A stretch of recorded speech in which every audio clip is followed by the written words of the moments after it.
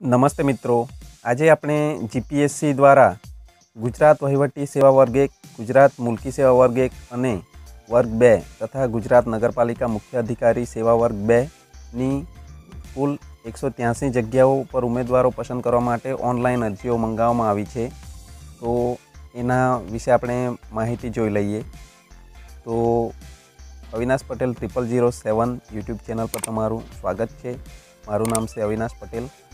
અને ચાલો સ્ટાર્ટ કરીએ without wasting time let start learning તો મિત્રો, તમે જોઈ શકો છો કે જાહેરાત જે છે તે ત્રીસ નંબરની જાહેરાત છે બે હજાર એકવીસ બાવીસ માટે છે. અને એમાં જીપીએસસી વર્ગ એક અને વર્ગ બે માટેની જગ્યાઓ છે વર્ગ એક અને વર્ગ બે માટેની. અને એના માટે કુલ જગ્યાઓ એકસો ત્યાંસી છે. તમારે ફોર્મ જો ભરવું હોય, તો ફોર્મ તમે કઈ રીતે ભરી શકો?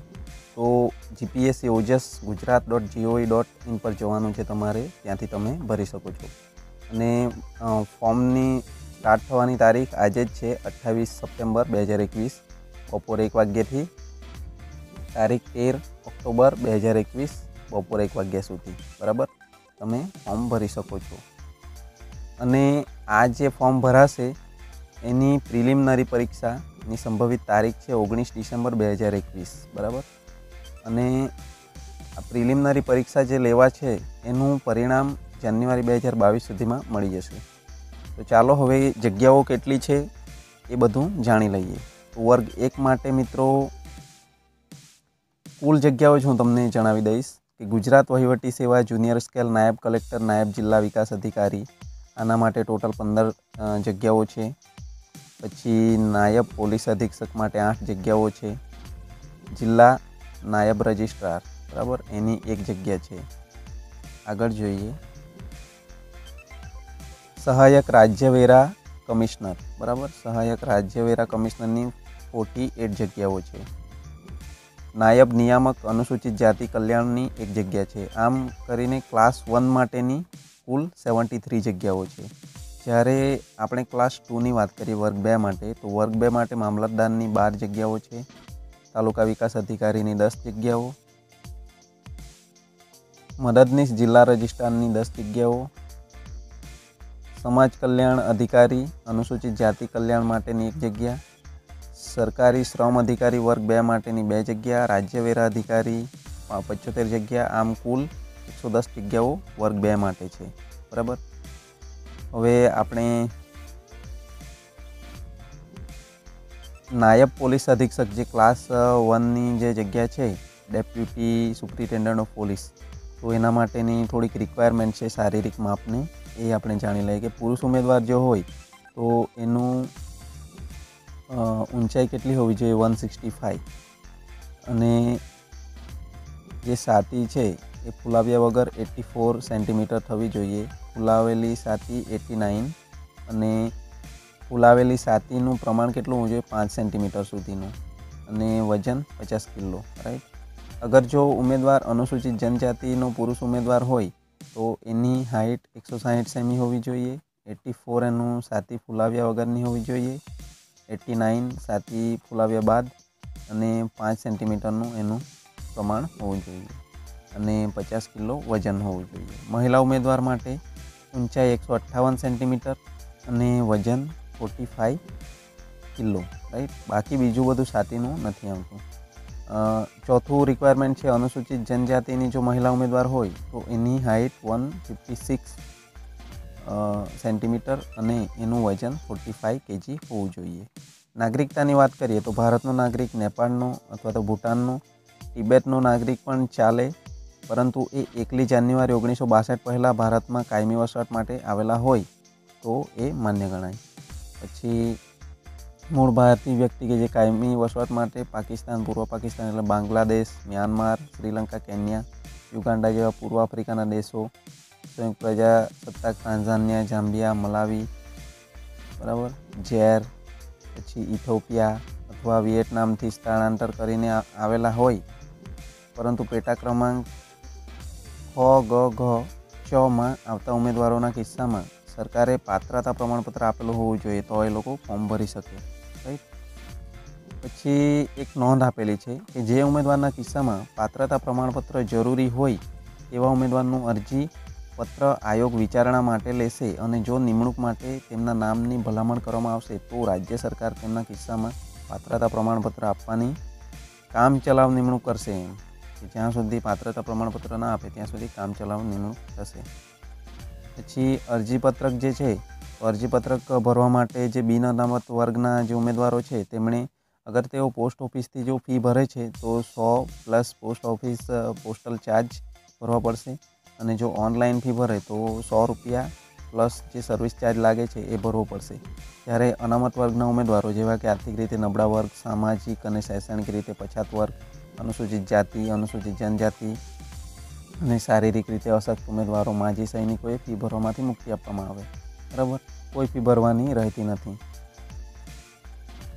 અને બીજું એક છે કે અનામત કક્ષાના જે ઉમેદવારો છે, જો બિન અનામત જગ્યા માટે અરજી કરે, તો અરજી ફી ભરવાની રહેશે નહીં. પણ તેઓ અનામત કક્ષાના ઉમેદવારો છે, તે બાબતનો જરૂરી પુરાવો રજૂ કરવો પડશે પછી ત્રીજું છે કે અનામત કક્ષાના ઉમેદવારો માટે જાહેરાતમાં અનામત જગ્યાઓ દર્શાવેલ ન હોય ત્યાં આવા ઉમેદવારો બિન અનામત જગ્યા માટે અરજી કરી શકશે અને તેની પસંદગી માટે બિન અનામતના ધારાધોરણો લાગુ પડશે. પછી જન્મ તારીખની વાત કરીએ તો જન્મ તારીખમાં કેવું કે જે એસએસસીનું પ્રમાણપત્રમાં જે જન્મ તારીખ હોય એ વેલિડ ગણાય છે. પરંતુ જો એસએસસીની જન્મ તારીખ ઉમેદવારને ખોટી જણાય તો એ અધિકૃત જે અધિકારી હોય, સરકારી, એ અધિકારી પાસે પ્રમાણપત્ર જે દાખલા માટે જન્મ તારીખનો દાખલો બનાવી શકે છે અને એ રજૂ કરી શકે છે. બરાબર? એના માટે વય અને અધિવાસનું પ્રમાણપત્ર બનાવવું પડે છે ઉમેદવારે. જે આયોગને બતાવવાનું હોય છે તો એ સ્વીકારવાનો, અસ્વીકારવાનો નિર્ણય આયોગનો આખરી રહેશે. અને બીજું છે કે ઉમેદવારે જે જન્મ તારીખ કોઈ પણ કારણસર બદલી શકાશે નહીં જે ફોર્મમાં દર્શાવેલી હોય અને વયમર્યાદામાં મૂળ ગુજરાતના અનુસૂચિત જાતિ, જનજાતિ, સામાજિક રીતે શૈક્ષણિક પછાત વર્ગના અથવા તો આર્થિક રીતે નબળા વર્ગના ઉમેદવારો હોય તો એમને પાંચ વર્ષની છૂટછાટ આપવામાં આવે. અને મૂળ ગુજરાતના અનુસૂચિત જાતિ, જનજાતિ, સામાજિક અને શૈક્ષણિક રીતે પછાત વર્ગ, આર્થિક રીતે નબળા વર્ગના મહિલા ઉમેદવારો માટે દસ વર્ષની છૂટછાટ મળે. એમાં જ જે પાંચ વર્ષની છૂટછાટ મળતી હોય એ ઇન્ક્લુડ હોય છે. પછી બિન અનામતના સામાન્ય મહિલા ઉમેદવારો, તો એમને પણ પાંચ વર્ષની છૂટછાટ મળે છે. પછી માજી સૈનિકો, ઈસીઓ, એસસીઓ સહિત ઉમેદવારોને સંરક્ષણ સેવામાં બજાવેલ સેવા, ઓછામાં ઓછા પાંચ વર્ષની સરેરાશ સેવા ઉપરાંત બીજા ત્રણ વર્ષ હોવા જોઈએ તો છૂટછાટ મળે. પછી બીજું છે કે શારીરિક રીતે અશક્તા ધરાવતા દિવ્યાંગ ઉમેદવારોને દસ વર્ષની છૂટછાટ મળી શકે.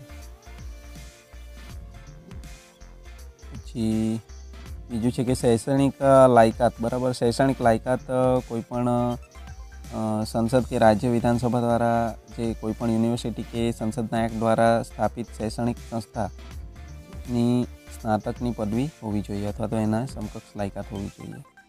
પછી એક બીજું અગત્યની માહિતી છે કે અરજીપત્રક સ્વીકારવાની છેલ્લી તારીખ સુધીમાં જે ઉમેદવારોના વીસ વર્ષ પૂરા થયેલા હોય અને નિયત લાયકાતની પદવી છેલ્લા સેમેસ્ટર વર્ષની પરીક્ષામાં ઉપસ્થિત થયેલ છે, બરાબર, અને થનાર છે. પરંતુ જેનું પરિણામ પ્રસિદ્ધ થયેલ ના હોય તેવા ઉમેદવારો પ્રિલિમિનરી પરીક્ષા માટે અરજી કરી શકશે, પરંતુ તેઓ જાહેરાતમાં દર્શાવેલ શૈક્ષણિક લાયકાતની પદવી મુજબ પરી, મુખ્ય પરીક્ષાની અરજી કરવાની છેલ્લી તારીખ સુધીમાં પ્રાપ્ત કરેલી હોવી જોઈએ કે પદવી તમારે પ્રાપ્ત કરવી પડે છે. બરાબર? અને એમબીબીએસ અથવા તો અન્ય કોઈ તબીબી શાખામાં પદ પદવી પરીક્ષામાં ઉપસ્થિત થયા હોય અને જેનું પરિણામ જાહેર થવાનું બાકી હોય, તેવા ઉમેદવારો પણ પ્રિલિમિનરી પરીક્ષાનું અરજીપત્રક ભરી શકશે. જો કે મુખ્ય પરીક્ષા માટે આયોગે જે ઉમેદવારને લાયક ઠરાવેલ હોય તેવા ઉમેદવારોએ મુખ્ય પરીક્ષાના અરજીપત્રક સાથે પદવી પરીક્ષા પાસ કરી અંગેનો પુરાવો આપવો પડે છે.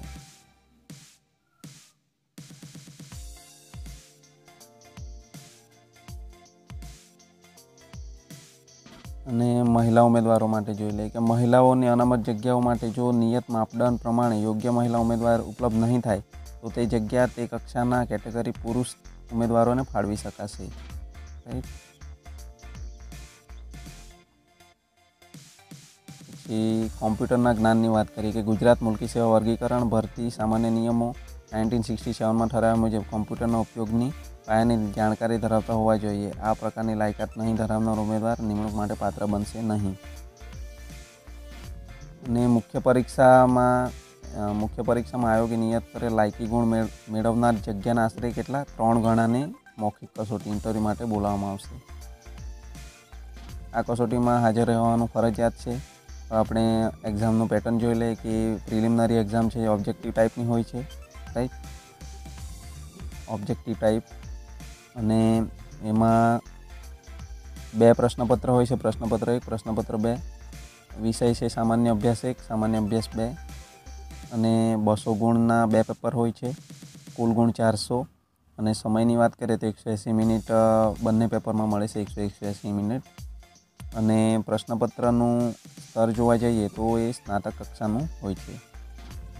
મુખ્ય પરીક્ષા છે ડિસ, ડિસ્ક્રિપ્ટિવ ટાઈપની હોય છે. તો એમાં છ પેપર હોય છે. One, two, three, four five six. પહેલું ગુજરાતી ભાષા, બીજું અંગ્રેજી ભાષા, ત્રીજું નિબંધ, ચોથું સામાન્ય અભ્યાસ એક સામાન્ય અભ્યાસ બે, પાંચ નંબરનું અને છ નંબરનું સામાન્ય અભ્યાસ ત્રણ. હવે દરેક પેપરમાં એકસો પચાસ ગુણના પેપર હોય છે. કુલ નવસો ગુણના પેપર.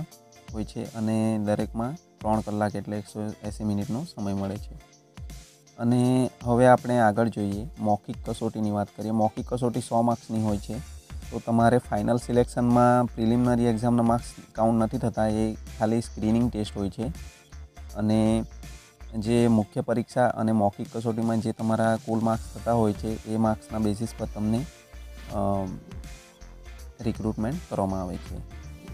અને જો પ્રિલિમિનરી પરીક્ષા છે, એના પરિણામને આધારે જે કુલ જગ્યાઓ હોય છે કેટેગરી વાઇઝ, એના પંદર ગણા ઉમેદવારોને મુખ્ય પરીક્ષામાં પ્રવેશ આપવામાં આવે છે. બરાબર? અને બીજું છે કે પ્રિલિમિનરી પરીક્ષાનું માધ્યમ સામાન્ય રીતે ગુજરાતી અને અંગ્રેજી ભાષામાં રહે છે. બરાબર? અને જ્યારે મુખ્ય લેખિત પરીક્ષામાં પ્રશ્નપત્ર ત્રણથી પ્રશ્નપત્ર છ, એ સામાન્ય અભ્યાસ એક બે ત્રણ અને નિબંધના જે પ્રશ્નપત્રો છે એના ઉત્તરો ગુજરાતી અથવા અંગ્રેજીમાં લખી શકાશે. અને કોઈ પણ, કોઈ એક પ્રશ્નપત્રના અલગ અલગ પ્રશ્નો માટે ઉમેદવાર ગુજરાતી અથવા અંગ્રેજી ભાષામાં ઉત્તર લખી શકશે રાઈટ મુખ્ય લેખિત પરીક્ષાના પ્રશ્નપત્ર એકનું માધ્યમ માત્ર ગુજરાતી જ છે, એ ધ્યાનમાં રાખવું. પ્રશ્નપત્ર બેનું માધ્યમ અંગ્રેજી રહેશે, ગુજરાતી અને અંગ્રેજીના પેપર માટે. તો આ હતું આપણી વેકેન્સીની ઇન્ફોર્મેશન જે હાલમાં જે ટ્વેન્ટી એટ સપ્ટેમ્બર બે હજાર એકવીસના રોજ આવી છે. તો આના જે ફોર્મ ભરવાના ચાલુ થઈ ગયા છે, તો તમે GPSC Gujarat dot government dot in પર જઈને એડવર્ટાઇઝમેન્ટ પણ જોઈ શકો છો અને GPSC Ojas Gujarat GOV dot in પર જઈને ફોર્મ ભરી શકો છો. છેલ્લી તારીખ તેર ઓક્ટોબર બે હજાર એકવીસ છે. તો એ તમારે ખાસ ધ્યાનમાં લેવું અને ચોક્કસ વહેલી તકે ફોર્મ ભરી દેજો. અને તમને આ એડવર્ટાઇઝમેન્ટનું પીડીએફ જોઈતું હોય તો તમે, હું લિંક ડિસ્ક્રિપ્શનમાં આપું છું, ત્યાંથી મારા બ્લોગ પરથી પીડીએફ ડાઉનલોડ કરી શકો છો. અને બીજું કોઈ પણ સવાલ હોય તો તમે કોમેન્ટમાં જણાવી શકો છો. તો વીડિયો કેવો લાગ્યો? વીડિયો પસંદ આવ્યો હોય તો વિડીયોને લાઇક કરો, કોમેન્ટમાં જરૂર લખો અને ચેનલ પર નવા હોય તો ચેનલને સબસ્ક્રાઈબ કરી લેજો. ચાલો મળીએ આવી જ હેલ્પફુલ ઇન્ફોર્મેશન સાથે નેક્સ્ટ ટાઈમ ત્યાં સુધી જય હિન્દ, જય ભારત.